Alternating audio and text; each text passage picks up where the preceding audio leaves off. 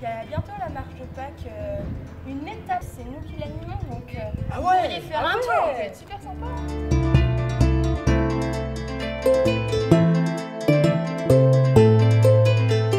sympa.